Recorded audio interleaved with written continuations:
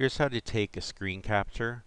There's a program called PC Screen Capture. Uh, it's a free program. There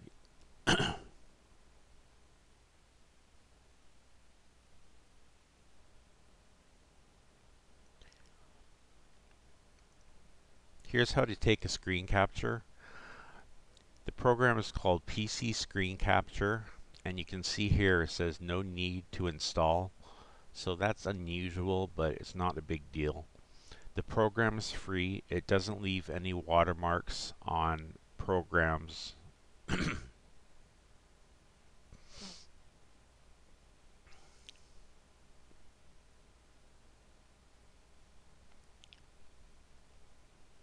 Here's how to take a screen capture. Here's how to take a screen capture. There's a program called PC Screen Capture. Here's the address. It'll be in the link in the descri description.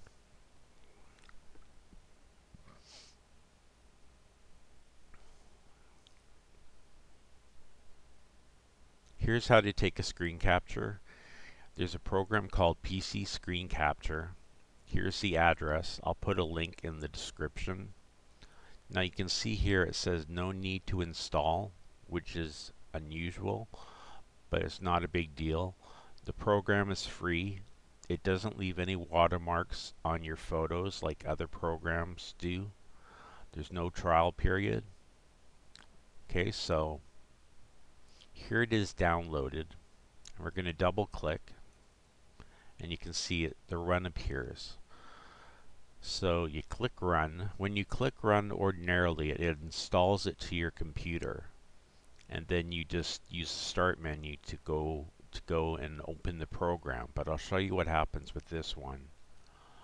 Off screen I'm opening the start menu going to it and it, here it goes to the run box too so anyways you click on that and now you're in the program so I need a photo so here's a photo.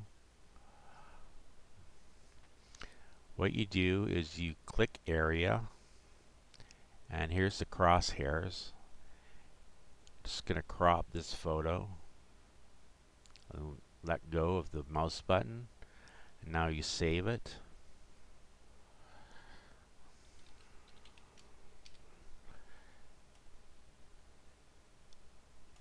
I'm saving it in a folder called Save Photo. And we're going to do one more capture, so I'll click Area. And we'll do just his eyes. And so you save the photo.